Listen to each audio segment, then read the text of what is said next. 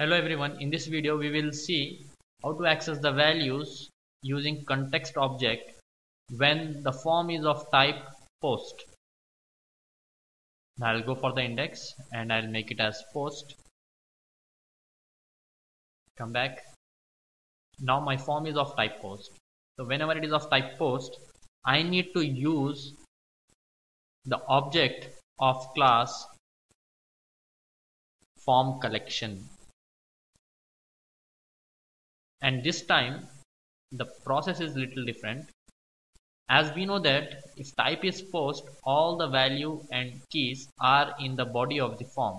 So I need to collect everything in the action method parameter itself. I'll say form collection FC I'm collecting it in FC now I'll try to read from FC the process is simple I will say fc of name.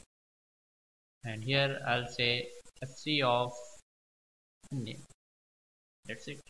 Now what is that it will do? It will have a collection of all the key value pairs in fc and we are reading one after the other from fc save this. Now I will execute it Now this time I'll try to insert Peter and age set 45 and I'll say submit. I have a breakpoint. I'll say F11. You got name. I'll just go for quick watch. Quick watch. Name is Peter. I'll say F11 I get age I'll quick watch. Age is 45 say 5 this should insert in my database again. Explore my table. I'll say show table data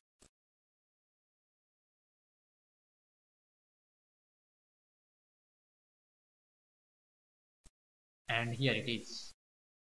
It is Peter and age 45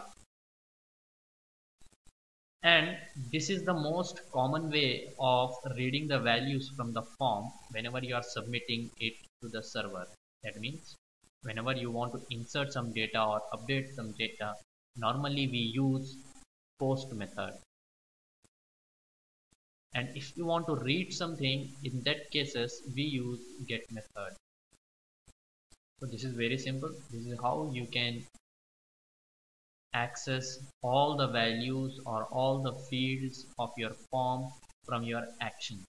So we saw two methods. One is parameterized method which is common whether the type is get or put another is context object which differs. If the type is get I need to use request dot query string. If the type is post I need to use form collection now in our next video we are not going to see model binding.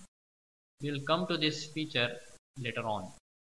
In our next video I'll just try to show you how can we enhance our index.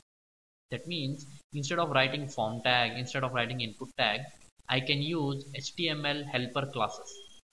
I'll redesign the same form with HTML helper classes and we will see the power of Razor engine in it so that's it for this video. Thank you very much